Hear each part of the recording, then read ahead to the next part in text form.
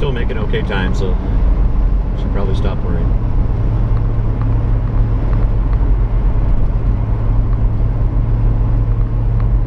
In my youth, I didn't really give as much of a fuck about, uh, you know, being a few minutes late or 10 or 15 minutes late, you know, pretty lax about it. Now I'm kind of paranoid about it. Like at, at work, I try to be the first guy to a meeting just because I never want to be the last dude no more. I'm trying to, I'm trying to change my reputation over time. Little things like that that I can easily fix, you know. It's so much more rewarding, you know, because you have to respect the rest of the crowd that you're about to meet with. It doesn't matter if you give a fuck about the topic or not, but it's disrespectful to show up 10 minutes late to anything.